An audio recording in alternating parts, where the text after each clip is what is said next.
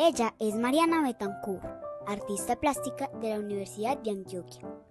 A Mariana le encantan los animales y la naturaleza. ¿Cómo descubriste que te gustaba pintar? Bueno, pues yo desde niña siempre tuve talento para hacer dibujos, para pintar, pero nunca pensé que iba a terminar siendo mi profesión. Y un día me presenté a la Universidad de Antioquia a medicina veterinaria, que fue lo que siempre quise estudiar, y puse de segunda opción artes, porque me gustaban pues las artes y yo dije, bueno, tengo afinidad con la pintura y eso. Y pasé a la segunda opción, que era artes. Entonces decidí estudiar artes y me encantó, me enamoré de la carrera y desde ese momento descubrí que eso me hacía muy feliz. ¿Cuál es tu animal favorito?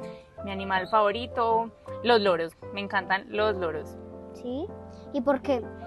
Porque crecí rodeada de muchos de ellos, eh, donde mi abuela siempre amaron muchísimo a los loros y ahí tuve la oportunidad de acercarme pues, a ellos y conocerlos.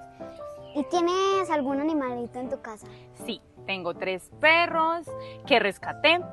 Está Roxanne, Fito y Chester. ¿Cuál es la experiencia más importante que has vivido como artista?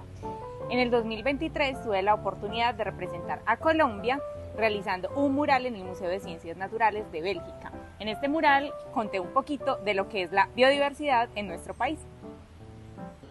Desde el municipio de La Estrella Antioquia les informó Celeste Álvarez.